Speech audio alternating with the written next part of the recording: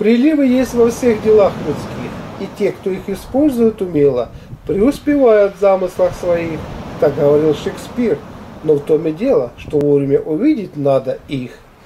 И вот мы с вами поговорим, как увидеть эти знаки, чтобы преуспеть в жизни. 13 августа, день Евдокима, назван в честь святого праведного Евдокима. Он служил в войске, отличался добродетельной жизнью, усердно соблюдал заповеди Божьи, пребывал в посте, воздержании, молитве и сокрушении о грехах, прилежно занимался изучением божественных книг, оказывал щедрую милостью нищим, убогим, сиротам и вдовицам. При этом соблюдал девственную чистоту. Он настолько был целомудрен, что не позволял себе ни беседовать с женщинами, ни смотреть на них. Этот день известен как заговение перед наступлением наступающим Успенским постом проходит с 14 по 27 августа. Слово «заговение» обозначает возможность есть обычную пищу – мясо, молоко, яйца. В Успенский пост люди питались весьма разнообразно. Он приходился на летний период, когда много овощей, фруктов и ягод. Пекли хлеб из нового урожая. Популярна была репа. Сегодня это забытый овощ, а раньше ее варили, жарили, использовали в качестве начинки для пирогов, настаивали настаивали квас, варили кашу. Кстати, святого праведника Евдокима сегодня почитают как покровителя дома и семьи. Также проводили специальный обряд, чтобы во время работы в поле у бараны зубья не ломались. Приметы. Сильный ветер на Евдокима к снежной зиме. Чтобы работа шла легче, сегодня следует обязательно поработать.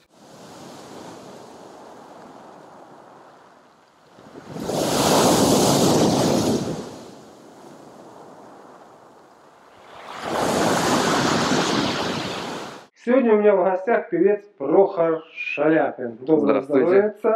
Человек он творческий. Прохору интересна тема вегетарианства. А почему она тебе интересна, вот эта тема вегетарианства? Ну, что хочешь это? Я вообще знаю, что от мяса люди стареют быстрее, потому что его тяжело переваривать, и вот начинают образовываться на лице даже видимость этой тяжести. Вот поэтому я не то, что стопроцентный, знаешь, что нам мясо нужно, тем более они клыки есть, мне сказать, что они как раз для этого Чтобы нужны. разрывать, да? Да, вот, поэтому частичное вегетарианство, то есть я иногда отказываюсь на какой-то период времени от мяса, очищаю себя и легче себя чувствую. Но мне вот интересно, не, не повредит ли это здоровью в принципе, потому что много мнений очень по поводу отказа от мяса. Вот. Хорошо. Начнем тогда с мяса, да? Действительно, мясо, почему тяжесть возникает от мяса? Потому что мясо э, такой продукт, который для своего расщепления и усвоения требует больше всего энергии, и э, за счет этого он дольше переваривается, и человек чувствует, ага, у меня там тяжесть имеется и прочее, прочее. Особенно если мясо это жирненькое, потому что жирненькое мясо вкусно. Вот. Но если его съедать с овощами, а при этом овощей надо брать раза в 3-4 больше, причем, знаешь, каких овощей? Листовых. То есть это капуста, это болгарский перец, это петрушка, это кинза, там, укроп и так а далее. помидоры и огурцы, что мы в основном? Пойдет, пойдет помидоры и огурцы, но не так, как хотелось бы. Оказывается, именно чтобы переварилось мясо, лучше всего использовать листовую зелень, и тогда ферменты, которые находятся в ней, хорошенько все переварят. Но а зелень должно быть свежей в 3-4 раза больше. Тогда нормально получается. Надо съесть мя... Э, кусочек вот такой мяса, да. и вот столько зелени получается. И тогда тяжесть не будет, все, так сказать, пройдет туда, куда надо. Вот. А э, когда мясо с хлебом, это самое плохое сочетание, которое может быть. Потому что, оказывается, на мясо своя среда требуется в желудке, на хлеб своя среда, и они несовместимы. И поэтому этот кусочек падает, и желудок думает, а что мне, как бы сказать, переваривать в свою очередь. И поэтому давай-ка я тогда э, выделю столько желудочно-кишечных соков, чтобы все это угу. переварилось. Он заливает желудок полностью, и мы ходим, вот особенно от пельменей, угу. ага, вроде бы сытно. И естественно, если человек ест много мяса, что происходит? Происходит, что э, белок у нас обновляется, и он выделяется через почки. Если мы переедаем мясо, то о, чрезмерно страдают почки. Потому Мгм. что белок, в отличие от жира и крахмала и углеводов, не откладывается в жир у нас, а должен выходить. Если он не выходит, клеятся мочекислые камушки. А я еще хотел спросить, очень интересный Мгм. вопрос. Мне, э, я слышал, что полезнее есть сырое мясо, нежели термически обработанное. Потому что сырое мясо, ну, я слышу, что легче переварить а, человеку. Я вот очень люблю иногда тартар. Вот из говядины, вот во Франции, в Париже, когда сидели, мы наворачивали этот тартар, у меня аж слюнки потекли. А, Вот. И, в общем, это так вкусно, и прям вот его хочется есть и есть. И вот мне интересно, это вот... Ладно, как-нибудь буду в Париже и попробую, что такое тартар, потому что... Это мясо перерубленное, свежее, говядина, то есть, и, ну, там немножко яйца сырого добавляют, всякие приправы и все. То есть И это не, не жарится, не, не парится.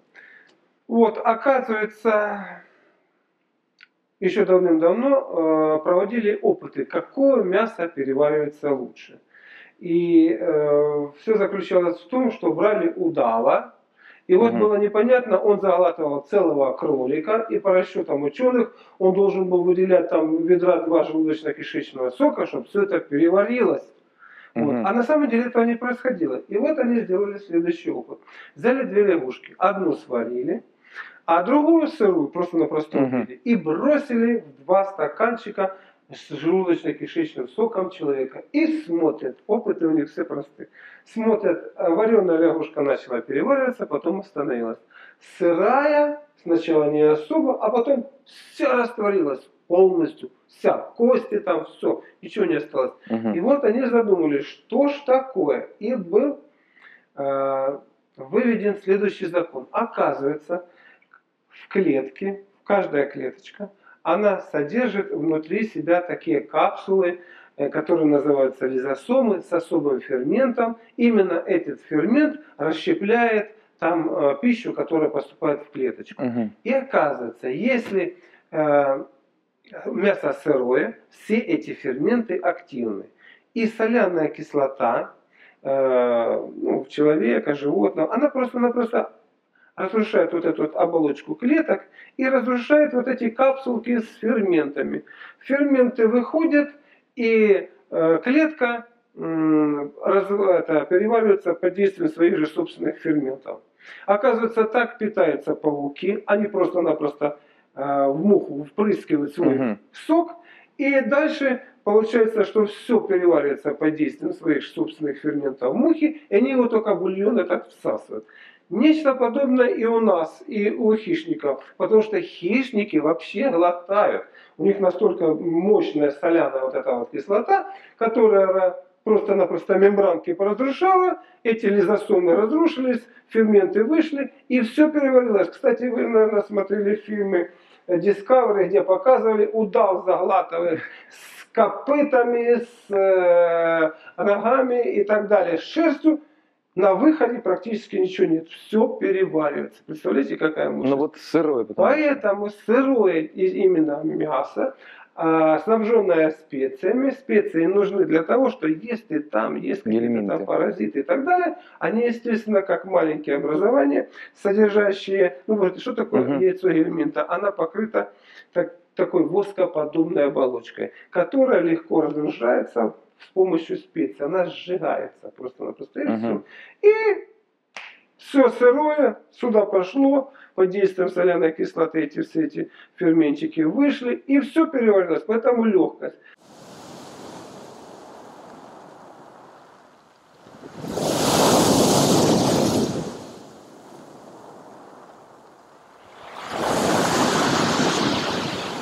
Двенадцатые лунные сутки. Энергетика этих лунных суток активизирует сознание человека чувство милосердия и сострадания.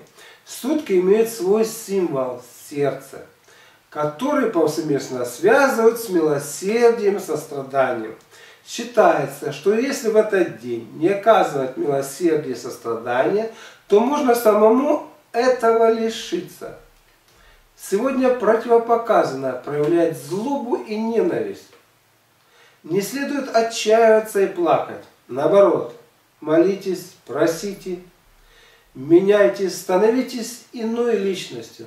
Сегодня не следует перенапрягаться. Наоборот, ограничьтесь пешеходными прогулками с любимым человеком. Питание сегодня жидкое, свежевыжатые соки, отвары трав, фруктовые компоты.